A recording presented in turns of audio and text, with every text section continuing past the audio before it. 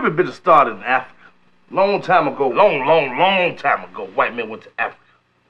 And he saw these beautiful black women walking around, singing, dancing, working, living in the nude.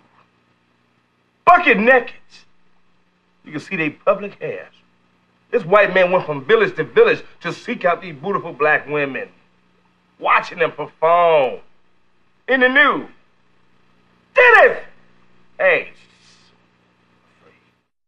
Nasty girl, nasty girl, in your own little nasty world.